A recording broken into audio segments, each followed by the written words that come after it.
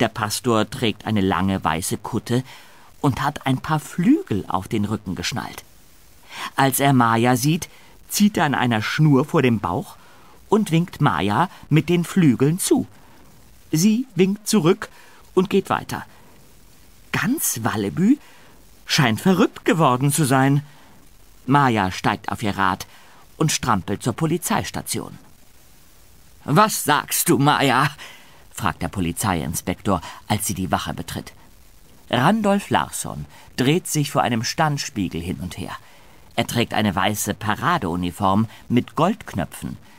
Ich glaube, der Modetrend des nächsten Jahres dreht sich um Ordnung und Disziplin, meint der Polizeiinspektor. Und was passt da besser als so eine elegante Uniform? Sitzt sie gut? Was denkst du? Maja will sagen, dass sie froh ist, wenn die Modetage endlich vorbei sind. Da fliegt die Tür zur Polizeistation auf. Jean-Pierre stürmt aufgebracht herein. Sie ist weg, ruft Jean-Pierre aufgewühlt. Maja und der Polizeiinspektor schauen den hysterischen Modeschöpfer verwundert an. Tränen laufen über seine Wangen. Wer ist weg? fragt der Polizeiinspektor.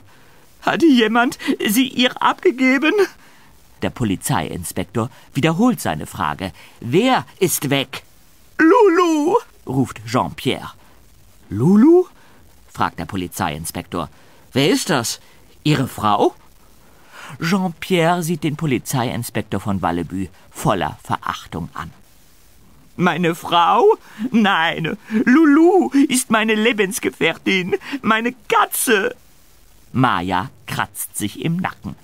Der Mann mag seltsam sein, aber man sieht ihm seine Verzweiflung schon von weitem an. Tut mir leid, sagt der Polizeiinspektor, stellt sich wieder vor den Spiegel und setzt die Polizeimütze auf. Die Polizei in Wallebü hat anderes zu tun, als nach entlaufenden Katzen zu suchen. Jean-Pierre sieht den Polizeiinspektor mit tränenfeuchten Augen an. Sie verstehen nicht, schluchzt er. Aber ich verstehe Sie, sagt Maya. Ich werde Ihnen helfen, Ihre Katze zu finden.